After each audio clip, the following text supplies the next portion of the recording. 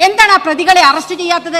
കാരണം ആ പ്രതികൾ സി പി എമ്മുകാരാണ് സാർ. ആ ബ്രിജിത് ഭൂഷൺ ഗുസ്തിദാരങ്ങൾക്ക് നേരെ നടത്തിയ അതിക്രമങ്ങളെ അതിനേക്കോലും വെല്ലുന്ന രൂപത്തിൽ ഈ കേരളത്തിൽ നടക്കുകയാണ് സാർ. ഇടതുപക്ഷം ഭരിക്കുന്ന നാടാണിത്. നമ്മുടെ നമ്പർ വൺ കേരളത്തിലാണ് സാർ ഇത് നടക്കുന്നത്. സ്ത്രീകൾക്കും കുട്ടികൾക്കും എതിരെയുള്ള അതിക്രമങ്ങൾ ക്രമാതീതമായി വർദ്ധിച്ചു വരുന്ന ഒരു സാഹചര്യത്തിൽ ഏറ്റവും അവസാനം അരൂർ പുച്ചക്കാൽ നടുറോഡിൽ ഒരു ദളിത് പെൺകുട്ടിയെ ആക്രമിച്ച ഒരു വിഷയം ത്തിലുകൂടിയാണ് ഈ സഭ ചർച്ച ചെയ്യുന്നതിന് വേണ്ടി സഭ നിർത്തിവെക്കണമെന്ന് ആവശ്യപ്പെടുന്ന ഒരു ഉപക്ഷേപം അവതരിപ്പിക്കുന്നത്. ഇത് സ്ത്രീകൾക്കും കുട്ടികൾക്കും എതിരെയുള്ള വളരെ പ്രധാനപ്പെട്ട വിഷയമാണ്. കാല ഒരുപാട് കാലങ്ങളായി ഇത് വർദ്ധിച്ചു വരികയാണ്. നമ്മൾ ചർച്ച ചെയ്തുകൊണ്ടിരിക്കുകയാണ്. ഈ പ്രധാനപ്പെട്ട വിഷയം സർക്കാർ ലാഘവത്തോടു കൂടിയാണ് എടുക്കുന്നത് എന്നുള്ളത് തുടക്കം തന്നെ തോന്നിയാണ്. അതുകൊണ്ടാണ് ബഹുമാനപ്പെട്ട മുഖ്യമന്ത്രിയോടാണ് ഇത് ആവശ്യപ്പെട്ടത്. പോലീസിന്റെ നടപടിയും കൂടി ഇതിനകത്ത് ചർച്ച ചെയ്യപ്പെടണം എന്നുള്ളത് കൊണ്ട് മുഖ്യമന്ത്രി ഇതിനകത്ത് ഹാജരായിട്ടില്ല. ഇതിന് എത്ര ലാഘവത്തോടു കൂടിയാണ് സർക്കാർ ഈ വിഷയങ്ങളെ കാണുന്നത് എന്നതിന്റെ ഏറ്റവും പ്രധാനപ്പെട്ട ഉദാഹരണം കൂടിയാണ് സാർ അത്. സാർ കുറെ നാളുകളായി നമ്മുടെ സംസ്ഥാനത്ത് ഇതുപോലെയുള്ള അതിക്രമങ്ങൾ. ഇപ്പം രണ്ടായിരത്തി ഇരുപത്തിരണ്ടിൽ പതിനെട്ടായിരത്തി തൊള്ളായിരത്തി നാൽപ്പത്തി മൂന്ന് കേസുകളായിരുന്നെങ്കിൽ ഇരുപത്തി മൂന്നാവുമ്പോഴത്തേക്ക് പതിനെട്ടായിരത്തി തൊള്ളായിരത്തി അൻപത് കേസുകളായിട്ട് സ്ത്രീകൾക്ക് നേരെ മാത്രം വരുന്ന അതിക്രമങ്ങൾ വർദ്ധിച്ചിരിക്കുകയാണ് സാർ. കുറച്ച് രണ്ട് ദിവസമേ നമ്മുടെ സമൂഹ മാധ്യമങ്ങളിൽ വാർത്താ മാധ്യമങ്ങളിലൊക്കെ പ്രധാനമായി ചർച്ച ചെയ്യുന്ന ഒരു വിഷയം ഈ അരൂരിലെ ഈ പെൺകുട്ടിക്ക് നേരെ നടന്ന അതിക്രമം. ആ ദളിത് പെൺകുട്ടി ആ പെൺകുട്ടി തന്റെ സഹോദരന് നേരെ ഒരു അതിക്രമം ഉണ്ടായപ്പോൾ അത് പരാതിപ്പെടാൻ പോലീസ് സ്റ്റേഷനിൽ പോയി പരാതിപ്പെട്ടതാണ് ഈ പെൺകുട്ടിയെ നടു റോഡിൽ വെച്ചിട്ട് അതിക്രമിക്കാനുള്ള ഇടയായ സംഭവം. ആ പെൺകുട്ടിയെ അതിക്രമിക്കുന്ന വീഡിയോ സമൂഹ മാധ്യമങ്ങളിൽ ഈ വീഡിയോ ഉൾപ്പെടെ പോലീസ് സ്റ്റേഷനിൽ ഹാജരാക്കി. ഈ ഹാജരാക്കി ഇതിന്റെ അതിക്രൂരം ആ ദൃശ്യം കണ്ടു കഴിഞ്ഞാൽ നമുക്ക് മനസ്സിലാകും സാർ. അതിക്രൂരമായ പീഡനമാണ് പെൺകുട്ടിയുടെ വസ്ത്രം വലിച്ചിറക്കുന്നു റോഡിൽ ഇട്ട് ചവിട്ടി നാവിക്ക് ചവിട്ടുന്നു മൂത്രമൊഴിക്കാൻ പോലും പോകാൻ കഴിയാത്ത രൂപത്തിൽ ദുരിതം അനുഭവിക്കുകയാണ് ആ പെൺകുട്ടി. ആ പെൺകുട്ടി പറയുന്നത് എന്റെ അനുഭവം ഇനി നാളെ ഒരു കുട്ടിക്ക് ഉണ്ടാവരുതേ എന്ന പെൺകുട്ടി കരഞ്ഞു പറയുന്നത് നമ്മൾ കാണുകയാണ് സാർ. എന്നിട്ട് ബഹുമാനപ്പെട്ട മിനിസ്റ്റർ പറഞ്ഞു അത് കേസ് രജിസ്റ്റർ ചെയ്തു. സർ ആ പ്രതികൾ എവിടെയാണ്?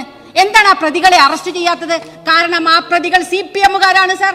സി പി എമ്മിലെ പ്രവർത്തകരായ തൈക്കാട്ടുശ്ശേരിയിലെ സി പി എം പ്രവർത്തകനായ ഷൈജുവാണ് ഈ കേസിലെ പ്രധാനപ്പെട്ട പ്രതി. അപ്പോൾ പാർട്ടിക്കാരാണെങ്കിൽ സംരക്ഷിക്കുകയും അവർക്ക് കുടപിടിക്കുകയും ചെയ്യുന്നു എന്നതാണ് നമുക്കിവിടെ കാണാൻ സാധിക്കുന്നത് സാർ. ആ പെൺകുട്ടി ഇപ്പോഴും ആശുപത്രിയിൽ ചികിത്സയിലാണ്. ആ അതിന് കേസിൽ അവരെ അറസ്റ്റ് ചെയ്യാൻ തയ്യാറാവുകയാണ് സാർ വേണ്ടത്. അതുപോലെ തന്നെ മറ്റൊരു പ്രധാനപ്പെട്ട സംഭവം നിരവധി സംഭവങ്ങളാണ് സാർ. കുസാറ്റിൽ ഫെബ്രുവരി ഇരുപത്തി ഒമ്പതാം തീയതി നടന്ന ഒരു വിഷയം സിൻഡിക്കേറ്റ് ഒരു സിൻഡിക്കേറ്റ് അംഗമായ ഇടതു നേതാവുമായ ഒരു ആൾ പി. ജെ. ബേബി എന്ന് പറയുന്ന കലോത്സവ സമയത്ത് ഗ്രീൻ റൂമിൽ കൊണ്ടുപോയി ഒരു പെൺകുട്ടിക്ക് നേരെ നടന്ന അതിക്രമങ്ങൾ.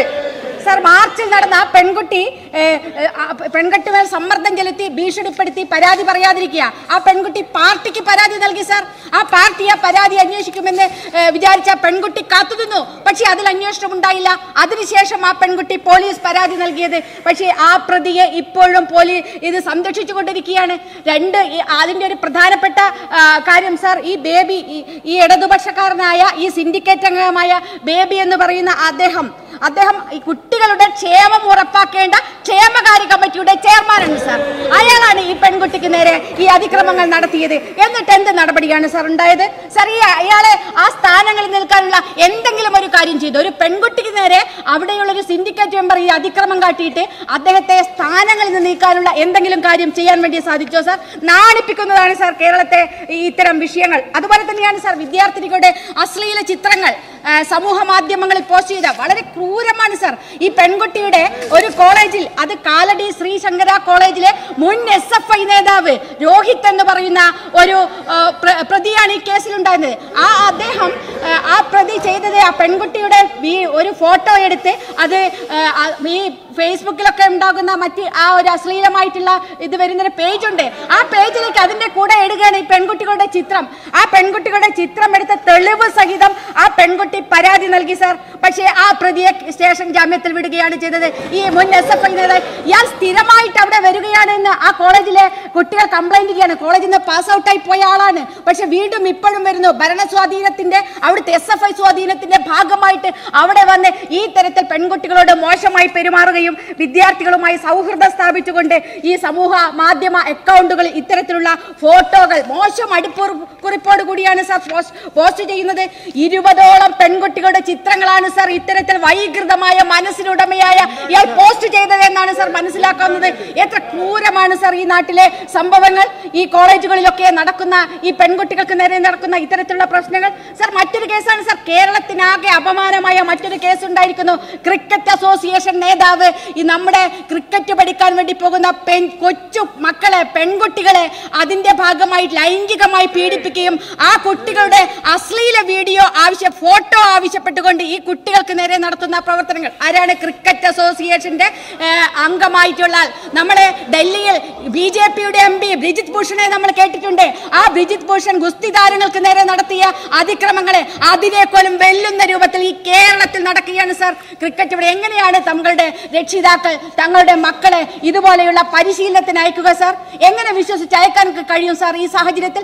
എത്ര രക്ഷിതാക്കളാണ് തങ്ങൾക്കും ഉള്ളത് മുഴുവൻ വിറ്റുപെറുക്കി തങ്ങളുടെ മക്കൾക്ക് താല്പര്യമുള്ള ഇതുപോലെയുള്ള മേഖലകളിലേക്ക് എത്താൻ വേണ്ടിയിട്ടുള്ള അവരെ കൊണ്ടയക്കുന്ന കേന്ദ്രങ്ങളാണ് സർ ഇത്.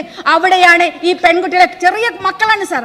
ആ മക്കളെയാണ് ഈ തരത്തിലേക്ക് അവരുടെ ഈ ബോഡി അവരുടെ ഇത് ഫിറ്റ്നസ് കാണിക്കാൻ വേണ്ടിയിട്ട് നഗ്ന ഫോട്ടോ വേണമെന്ന് ഇയാൾ ഈ പെൺകുട്ടികളോട് ആവശ്യപ്പെടുകയാണ്. എന്നിട്ട് ആ പെൺകുട്ടി കൊടുക്കാത്ത കുട്ടികളെ ക്രൂരമായി മാനസികമായും ശാരീരികമായും ആക്രമിക്കുന്ന തരത്തിലേക്ക് ഈ ക്രിക്കറ്റ് അസോസിയേഷന്റെ നേതാവ് മാറുകയാണ്.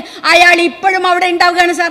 രണ്ട് വർഷം മുന്നേ ഇയാൾ പോക്സോ കേസിൽ പ്രതിയായിട്ട് കോടതിക്ക് പുറത്ത് ഒത്തുതീർപ്പാക്കിയ ആളാണ് സാർ. അന്നും നടപടിയെടുത്തില്ല. അതിനുശേഷവും ഇയാൾ ഇപ്പോഴും ക്രിക്കറ്റ് അസോസിയേഷൻ തുടരുകയാണ്. ഇത്തരം ആളുകളെ ഇതിൽ തുടരാൻ വേണ്ടി എന്താണ് സാർ ഇത് ഈ ആളുകൾക്കൊക്കെയുള്ള സ്വാധീനം? ഈ പാർട്ടിയിലും ഈ ഭരണ നേതൃത്വത്തിലുമൊക്കെ ഈ ആളുകളുടെ സ്വാധീനമാണ് സാർ ഇതിനെ കാണിക്കുന്നത്. സാർ ഭൂമി വളരെ ക്രൂരമായ. ക്രിക്കറ്റ് ഹൗസിൽ പറയുമ്പോൾ നിങ്ങൾ ഇടപെടേണ്ട കാര്യമാണ് ചിത്തരഞ്ജൻ ക്രിക്കറ്റ് ഹൗസിൽ പറയുമ്പോൾ നിങ്ങൾ ഇടപെടേണ്ട കാര്യം എന്താണ് കുട്ടികൾക്ക് സംരക്ഷണം കൊടുക്കുന്നതിൽ പോലും ഈ സർക്കാർ ദയനീയമായി പരാജയപ്പെടുകയാണ് സാർ. ആ കുട്ടികൾക്ക് പോലും സംരക്ഷണം കൊടുക്കാൻ.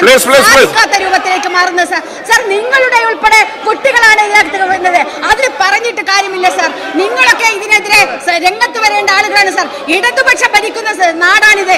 നമ്മുടെ നമ്പർ വൺ കേരളത്തിലാണ് സാർ ഇത് please, കേരളത്തിൽ ആ കേരളത്തിൽ നടക്കുന്ന ഈ കാര്യം ഇതിനെതിരെ നടപടിയെടുക്കാൻ എന്തുകൊണ്ട് സാധിക്കാതെ പോകുന്നു സാർ. അതിനെതിരെ ഊറ്റം കൊണ്ടത് കണ്ട് കാര്യമില്ല കോളേജുകളിലൊക്കെ കാട്ടിക്കൂട്ടുന്ന അതിക്രമങ്ങൾ നിങ്ങൾ എസ് എഫ് ഐക്കാരെയൊക്കെ ന്യായീകരിക്കുന്നുണ്ടല്ലോ.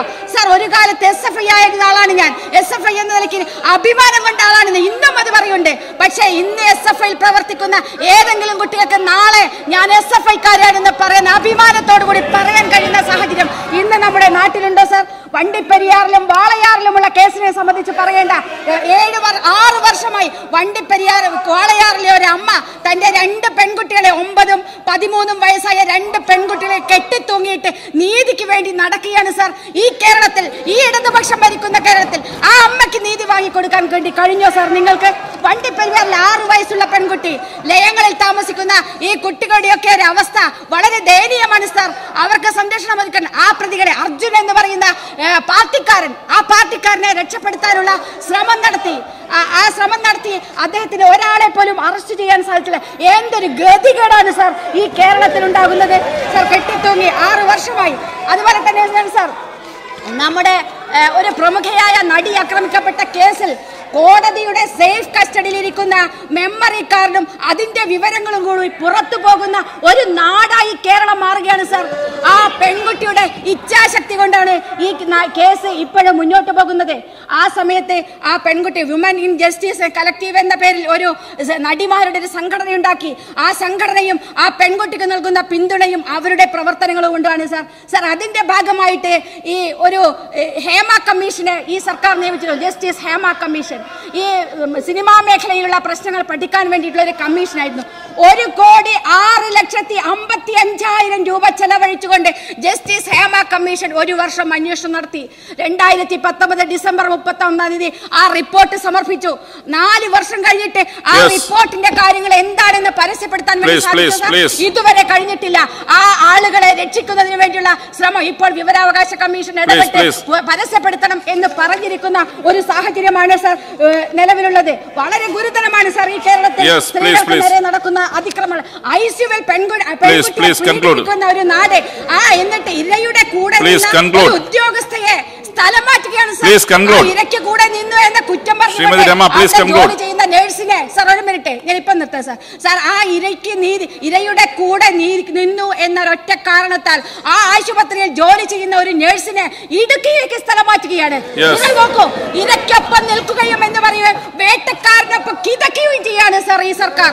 അതാണ് ഈ സർക്കാർ പെൺകുട്ടികൾക്ക് നേരെ നടക്കുന്നത്.